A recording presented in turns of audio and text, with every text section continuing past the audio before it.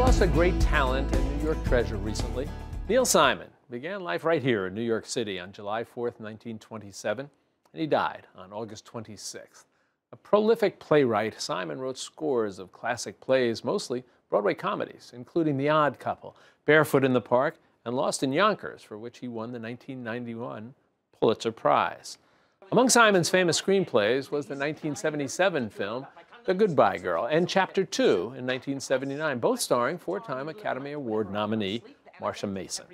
I recently got the chance to speak with Miss Mason, Neil Simon's ex-wife, in an interview we recorded before Simon's death.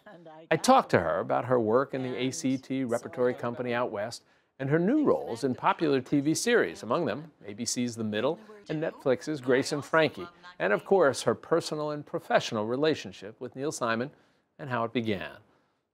Well, what happened was um, I wanted to go back to ACT for a second season, and I was planning on it. And my agents here in New York, uh, Phyllis Wender, um, she said, Well, you better, why don't you audition for this new Neil Simon play? Because actually you'll play four or five parts, because the whole idea of repertory was what really got me excited. So I went and I auditioned, and I had um, actually shot Cinderella Liberty, but it hadn't come out yet.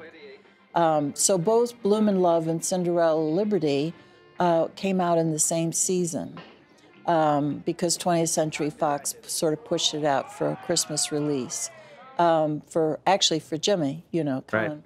And so um, I thought I I always had to go back to callbacks. I never was like hired in an instant. So I went back to my agent's office after I did the audition for The Good Doctor, which was Neil Simon's play. And um, I said, Well, I think it was okay. You know, I'll probably get a call back. And so they, she said, Well, they called and you've got the role. So I had to weigh staying in New York and doing what I had always come here to do to go to ACT.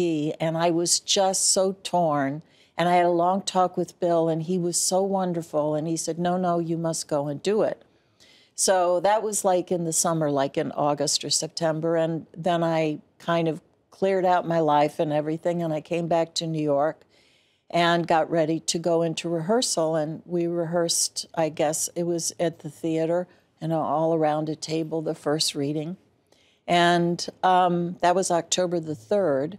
And Neil and I were married on the 23rd or something. Bit of a whirlwind, Yes, that, as you described. But um, it was just meant to be. So. And, and again, the, these are, are some of the most wonderful films. And if people out there haven't seen them, they should go see them. You, you then end up leaving Hollywood, stepping away from all of. Yeah, in the for, 80s, For, in uh-huh. the 80s, for, for a, Late a 80s, good yeah. period of time. You go, as I mentioned, New Mexico. Yep. Organic farm. Yeah. Which, which, and, and, and That make it too, a product, and make it a, yeah, and make it a product line. Things Yeah, are doing well. yeah. Um, you, you've taught. I saw you saying before that that actors should always have some experience directing, and directors should have some experience Oh, acting. uh-huh. And you're doing more and more directing, Directing, yeah, now. Why? yeah. What is it that that is attracting in this in this part of your career? What's attracting you to the notion of directing now? Uh, I think it's uh, trying to uh, e- expand one's potential, um,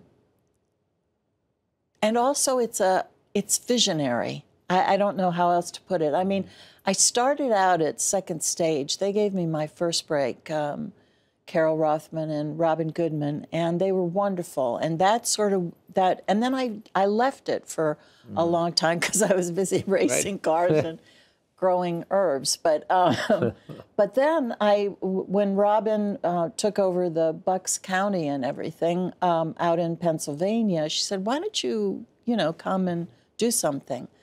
And I was very fortunate because I just kind of fell back into it and I love it. I just, I love the, um, the crew aspect of it, the, the collaboration with the set designer, lighting designer, sound designer, with the actors. And because I sort of really do know everything now. You've been there. You've I've done it all. I've been there and, and I've absorbed a lot and and I've also done a lot. So I feel confident in terms of what I'm doing, and I also feel strangely enough, that the 20 years in New Mexico meant learning management, learning discipline, learning business, uh, becoming an entrepreneur, and becoming a manager of Latino men, which was not an easy thing.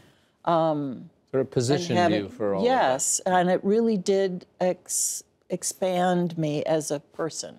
Well, I, I know I speak for all of your fans, of which I said I am one, that we're delighted that we've gotten you off the farm and we have you back on the screen, both Oh, directing and acting. Marsha, this is it's been a pleasure. A real delight to meet you. Thank you so much. Well, for come uh. September 27th Yes. to Provincetown, Massachusetts. I'm going to mention that for folks. And, got that. And is there a better place and time to go than in September to Provincetown, Massachusetts? what a wonderful place. Marsha, thank you again. You be well.